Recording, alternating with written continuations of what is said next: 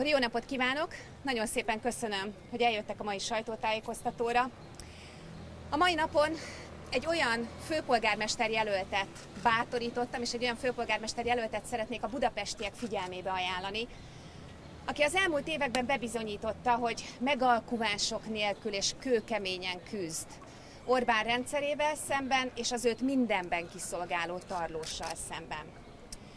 Egy olyan főpolgármester jelöltet, aki nem megosztja, hanem egyesíti azokat a szavazókat Budapesten, akik változást szeretnének. Nem pártag, nem is volt pártnak tagja soha, és ezért minden olyan budapesti számára egy jó megoldást lehet, jelenthet, és egy bíztató jövőt jelenthet, akik rászavaznának.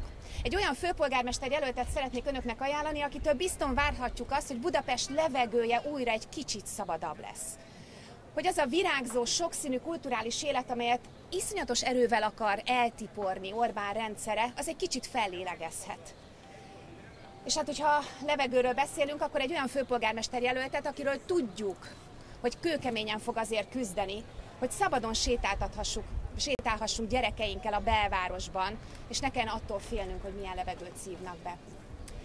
Egy olyan főpolgármester jelöltet szeretnék áll, önöknek javasolni, aki fel fog lépni mindenfajta mutyival szemben, aki vigyázni fog a budapestiek pénzére, aki nem hagyja, hogy bárhonnan is jövő összejátszásokkal megkárosítsák a budapestieket mondjuk a nagyobb beruházásoknál. Úgyhogy szeretném a budapestiek figyelmébe ajánlani, hogy a főpolgármester jelölti előválasztáson szavazzanak Kálmán Olgára, és októberben pedig Kálmán Olga főpolgármesterségére. Köszönöm. Szép jó napot kívánok én is mindenkinek. Tudom, hogy számtalan kérdést fogok kapni, én is ugyanezt tenném magammal szemben. Először is, hogy miért. Az európai parlamenti választás szerintem pontosan megmutatta, hogy a választóknak az az akarata, azt szeretnék, ha minél több új szereplő lenne a magyar politikában. Aztán, hogy miért Dobrev Klára mutatott be engem, hát Klárának nagy szerepe van abban, hogy rászántam magam erre a lépésre, Mind a ketten úgy gondoljuk, hogy egyébként a politika megérett arra, hogy új szereplők lépjenek színre, és mindketten azt szeretnénk, ha minél több nő vállalna közéleti szerepet ebben az országban. És hogy kinek a jelöltje leszek? A budapestieké. És ez nem egy üres szólam, én nagyon komolyan úgy gondolom, hogy minden budapesti jelöltje szeretnék lenni. Igen, Klára biztatott, a DK biztatott, és egyáltalán nem volt egyszerű a sok éve tartó töprengkedés és töprengés után azt mondanom, hogy oly sok ember biztatására és oly sok ember akaratára, akkor azt mondom, hogy igen. És ehhez nekem is kellett az európai választási parla- Európa parlamenti választás eredménye, hogy lássam azt, hogy a budapestiek tényleg ezt akarják.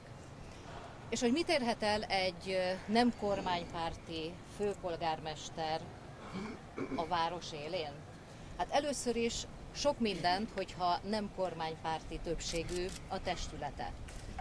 Aztán én azt gondolom, hogy a legtöbbet mégiscsak a budapestiek érhetik el, azok a budapestiek, akik már számtalanszor, számtalan ügyben kinyilvánították az erejüket és az akaratukat, hogy ki tudnak állni a saját döntéseik, a saját akaratuk mellett. Lásd internetadó miatti tiltakozás.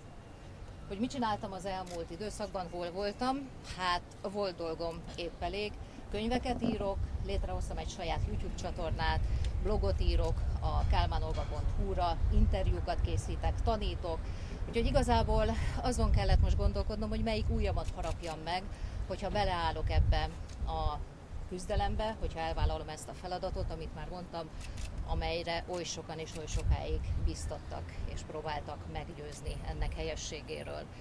És még egy gondolat erejéig visszatérve arra, hogy mit érhet el egy nem ellenzéki, vagy nem kormánypárti főpolgármester a kormányjal szemben.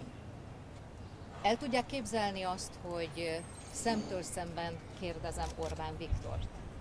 El tudják képzelni azt, hogy szemtől szemben tárgyalok Orbán Viktorral a város ügyeiről? Én el. És higgyék el, hogy nem csak bólogatni fogok. Úgyhogy hajrá szabad Budapest, csak egyenesen.